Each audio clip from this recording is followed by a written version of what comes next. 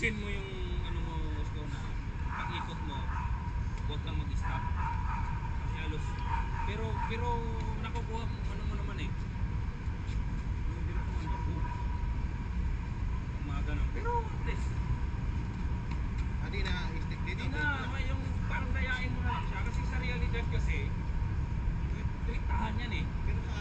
Sa, yan yung standard, yun yung ano talaga, yung by the number tayo. Pero,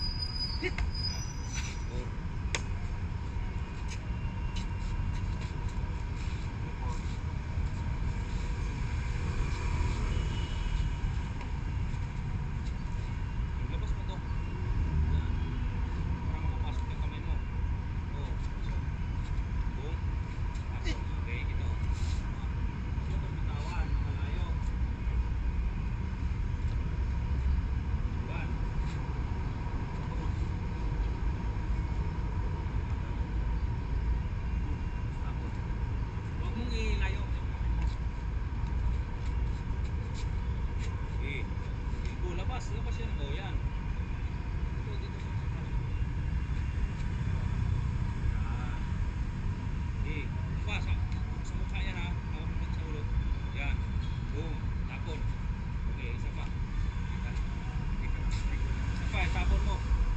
Isa pa, basta pag tinapon mo, isko, pag inanon mo, atras ka, ha.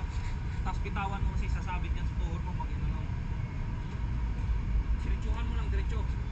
Diretsuhan na ano.